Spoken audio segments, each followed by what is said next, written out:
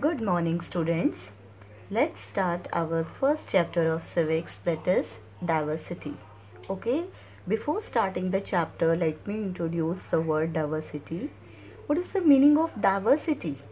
Okay, diversity means differences, means vibhintai. Okay, we'll study or discuss the meaning of diversity in, in this chapter in detail. So, what we shall study about in this chapter the meaning of diversity, unity, reasons of diversity, traditions, regional differences, food pattern, religious beliefs, characteristics of diversity in India, languages, religion, festivals, dance and music, dresses, food, arts and paintings, unity, and in last case study of Kerala and Ladakh. Yes. Now listen. Imagine a garden with flowers of only one variety. How it would look like? All flowers will look same. So, variety and change are two important aspects of life. Variety is must in our society. If the people of Stone Age did not try to change their situation, we all would have still been in the same Stone Age. So, uh, ch- so changes are necessary. Everyone needs a change and improvement. Okay, so growth and progress happens because this is uh, of our human nature. This human quality brings about inventions and innovations. Now the meaning of diversity. You just look your class, okay? In class, you all wear a same dress, same uniform. So your classmates come from different localities and different families and they may be from different religion. Some come from different areas, others may come from other areas. Every individual, every person has a unique identity of his or her own. Everybody speak different language at home. For example, some speak Bengali or Gujarati or Punjabi, Tamil, Hindu. So this difference is called diversity. Diversity means uh, Pandit Jawaharlal Nehru, former Prime Minister of India, has coined this phrase unity in diversity. It means ekta me anekta. Means in India we have this uh, we have this phrase now unity. Although the students are from different diverse backgrounds, diverse here means different. Yet they are your friends and you all study in same class in sixth class. You are classmates, you study and play together, isn't it? You have debates, competitions against other sections as one united team. So, in a nutshell, in short, this is what unity in diversity. Okay, in, we are starting from your class only. Okay, in class you are 30, 40, 50, 60 students. Okay, so you all have your own identity. Okay, you all are unique. So, this is called unity diversity because you all come from different background you all come from different home you all have different eating food habits your way of speaking is different from each other everything is different okay? So we shall study more about this now later in the chapter. Our now our next topic is reasons of diversity why there is diversity in India? Number one, traditions. Do you know the meaning of traditions? Traditions here means paramparai. Human beings always prefer to live in groups. You may also look at you. You also live in a family in your house and uh, the family lives in a house, the house in a colony you live in a colony too and your colony is in a locality and your locality is in a district and district is in a state and the state is in a country. So at every level the people around you make a difference to how you live. Okay? At for example at home your parents teach you what to eat how to eat the way you eat what to wear or how to pray what to do what to not to do inside the house and outside the house so they learn these things from their parents and the elders this is what builds tradition and trends यही सब परंपराएं हैं those we get from our parents okay those we get from our ancestors so understood now regional differences number two second point. Now regional differences here means in whatever in a particular area you are living you are, uh, are living according to that area you have to live. For example you are living in a cold place okay climate weather. So you in that particular area you have to wear according to that climate. In some regions men wear turbans and in some areas men wear caps and in some they may wear lungis or dhotis. So most of our dresses and food habits have come from our ancestors. Ancestors here means Purvaj. Those who lived in hot areas wore headgear headgear means sir par pehenne wala like a turban so they may save their head from scorching heat so similarly the people who lived in areas which get lot of rain wear clothes which are normally kept length okay? So that they do not get wet when walking through waterlogged areas or rice fields. So these regional differences are due to the area or the region where you are living at that time. Okay?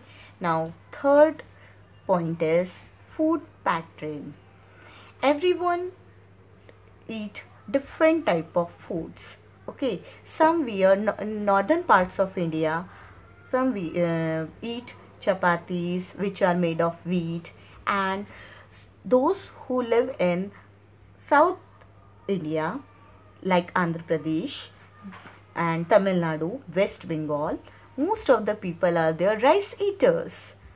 Those who stayed in dry regions like rajasthan where grains like bajra was grown started eating these as basic food so every uh, uh, region or area has a particular type of food. Those who live nearby sea or rivers, they eat fish in their food. So this is all due to uh, this, these all are food patterns and these are different of all areas. Now with the passing of time, such dresses and food pattern became traditions which relate to people from a region or religion. Now next fourth point is religious belief. Religion over a period of period has been a big binding force among people different people believe in different forms of god. You know that there are uh, different types of religions. For example hindus go to temples. Sikhs go to gurudwaras. The muslims go to mosques. And the christians go to churches. So all have different religious belief. Still there is unity in diversity in india. Itna sab होने के बाद भी, इतने differences होने के बाद भी हमारे इंडिया में अनेकता में एकता है। So this phrase is rightly settled here now characteristics of diversity in India characteristics here means qualities okay the regional differences have brought about many characteristics in the diversity now let's see them one by one number first point is languages. Our Indian constitution has recognized 22 languages. Languages have come into prominence from different regions people in different parts of India speak different languages. Like people of Punjab speak Punjabi, people of West Bengal speak Bengali, people of Tamil Nadu speak in Tamil and so on. So, yes, now every people speak in different form. For example, people of Amritsar speak different Punjabi that, than that of Firozpur region. It means a same language is to be spoken by people in different religion may different region may differ. So these variations in variations in languages are called dialects. In India, there are more than 500 dialects of different languages. Dialects here means um, एक ही language को अलग अलग तरह से pronounce करना now religion this one is second characteristics you know that there are many religions in india people have different faiths and beliefs for example hinduism islam sikhism jainism buddhism christianity these are commonly known religions. Each one follows different customs of faith. Some religions dictate the ways of life like Jainism propagates vegetarianism. The Sikhs wear turbans. So every religion has its own characteristics and people of different religion follow these. Now third characteristics is festivals. Different festivals are celebrated across the country. You all know that. They are either related to religion or crop. So on the basis of festivals we may categorized into three uh, different types religion based festivals, regional festivals and national festivals. Number 1. Religion based festivals. Hindus have festivals like Dashera, Diwali, Holi, while Muslims have festivals like Eid ul-Zuha and Eid ul-Fitr. Christians have the Christmas and Easter. Jains have Mahavir Jayanti. Buddhists have Buddha Purnima and Sikhs celebrate Guru Nanak Jayanti as their main festival. So every religion has its own festival. Now second, regional festivals means related to any particular region. These festivals are celebrated in various regions. For example, Bihu. This festival is celebrated only in Assam, not only not uh, uh, not in other states. Onam is celebrated in Kerala, Pongal is celebrated in Tamil Nadu and Baisakhi is celebrated in Punjab. So these are celebrated in this particular area only. Now third one is national festivals. National festivals you all know that Independence Day and Republic Day these are national festivals and these are celebrated with lots of pomp and show. So uh, Republic Day. Okay. Now, now fourth characteristic is dance and music. Dances. Different regions in, uh, have different dance forms in India. For example, some dance forms in India are Kathakali in Kerala, Kuchipudi in Andhra Pradesh, Bharatnatyam in Tamil Nadu, Manipuri in Manipur, Bihu in Assam, Lavani in Maharashtra, Garba in Gujarat, Bhagra, Bhangra from Punjab and Ghumar from Rajasthan. So, uh, each and every region area has a particular dance form. Now, music. Musical patterns are also varied. Carnatic music is famous in southern parts of India and Hindustani music, music finds its origin in northern parts of India. Now dresses. If you go in a marriage ceremony, you will find that uh, most of the people are wearing dresses that they may not wear as normal daily wear. So these dresses show their customary connection means they those dresses may be traditional dresses. The major different forms of dresses which can be related to regions are salwar kameez in Punjab, ghagra kachli in Rajasthan, lehenga choli in Gujarat, lungi in South India, kurta pajama in Central Asia, dhoti kurta in West Bengal and northeastern parts of the country. The sari is worn in more than 10 different styles in different parts of the country and so dhoti also. So every each and every region has a different style to wear the same dress. Now food. People from different parts of the country have different patterns of food. For example, people from South India eat rice, dosa, idli, sambar, vada, etc. They uh, consume many dishes which have coconut, fish and spices in their food. Whereas in northern states, mostly people eat chapatis with dal. Rice is less consumed than these things. Now arts and paintings. In Rajasthan, there is tendency of using peacock blue color. You have seen, you may have seen in your bed sheets and other things also.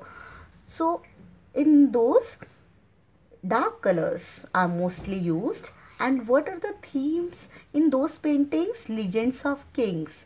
राजा महाराजाओं की जो velar हैं velar means बहादुरी और उनकी legends they are centred around palaces palaces हो गए। Wars लड़ाई इन सब चीज़ों को ज़्यादा शो किया जाता है। In south gold and blue colour is use and cow is considered a holy animal in north east rivers hills tea gardens are common themes now unity you have seen that. Despite so many diversities in India, still there is unity here. You would be amazed that India is famous in the world for the unity in diversity. Our culture is so diverse, you know that it has still many common features. Let us take few examples. Number one, Ram and Krishna are two gods whose epics of Ramayana and Mahabharata you have seen. According to Ramayana, you all know the story of Ramayana. Lord Ram was born in Ayodhya and he travelled through the whole of India and fought a war with Ravan. And in Mahabharata tells the story of Lord Krishna who was born in Mathura and the world famous Tanjore paintings of the south are mostly centered around the theme of Lord Krishna. So, despite all these diversities, many of us believe in Rama and Krishna.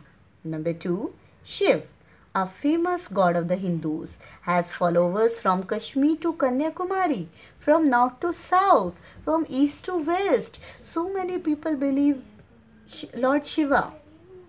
The Buddhist temples in Gaya are common places of pilgrimage. For all Hindus, Jain temples of Dilwara in Rajasthan also attracts lots of pilgrims. So Muslim places like Dargah of Hazrat Khwaja Moinuddin Chishti at Ajmer, Dargah of Hazrat Nizamuddin Aulia in Delhi and Haji Ali in Mumbai are places of pilgrimage for people of all faiths in India, not only Muslims but people of different religion go there and worship.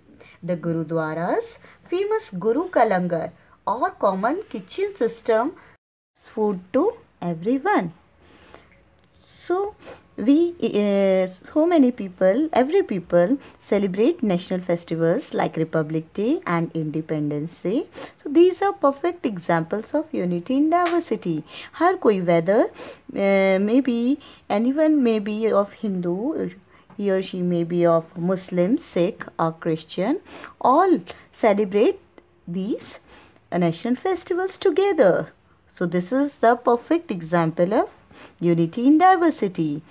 So see, see one more example. The national unity is visible during uh, sports also when uh, our Indian team plays then every spectator cheer our Indian team whether they may be a Hindu or Muslim or Sikh or Christian.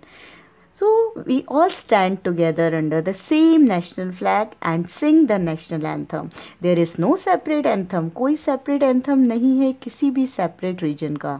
So चाहे कोई भी हो हम सब का एक national anthem है एक national flag है. So in this way we all are one. so all these things show that, that despite the differences in their cultures we still have unity So we have completed here this chapter have you heard सारे जहाँ से अच्छा हिंदुस्तान हमारा this song is has been written by Mohammad Iqbal and मिले सुर मेरा तो महारा तो सुर बने हमारा is also an Indian song that promotes national integration and unity in diversity now let me tell you the case study of Kerala and Ladakh Where is Kerala situated? Kerala is situated in southwestern, southwest. Kerala is a southwestern state and this area is close to equator and gets lot of rain.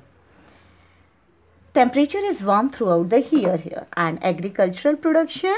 So many crops are grown here like pepper, cardamom, tea, coffee, rubber, coconut, rice.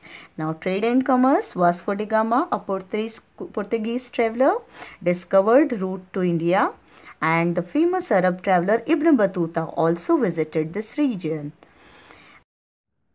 So many traders brought Christianity and Islam here. Now food people of Kerala prefer to eat spicy food. They prefer to eat rice and coconut is used in their dishes. Now festivals. Onam is a major festival here and this is a picture of boat race. This also this is also held during the festivals. Now Ladakh. Where is Ladakh situated? Ladakh is situated in northeastern part of the state of Jammu and Kashmir. It gets very less rainfall and it is also called the cold desert of India. It as it is covered with snow all most of the time of the year. Now agricultural production. Here uh, like oxygen is less as it is high up in the mountains so only some fruit trees grow here. Now trade and commerce. Ladakh is famous for the wool of the sheep and Pashmina wool is taken from the sheep which is used to make world famous shawls. Religion mostly people follow Buddhism or Islam here and this area Ladakh is also called a mini Tibet. Ladakh को mini Tibet के नाम से भी जाना जाता है. Now uh, food mostly people uh, rear goats, sheep, cows and yaks here. So, they mostly depend on meat and milk for them. Now, festivals, Losar, Phyang and Hemis are the major festivals of Ladakh. So, we have done the case study. In this case study, we have studied how किस तरह से different regions जो थे are geographically and culturally they are different but both these are part of India. So this is a fine example of diversity in India. So we can say that despite so many differences or uh, diversity in India, we live together, we celebrate together and help each other in difficult times. इतना सब होने के बाद भी we still are one. So we have completed our chapter. Rest, book exercises and question answers you will get in your next video clip. That's all.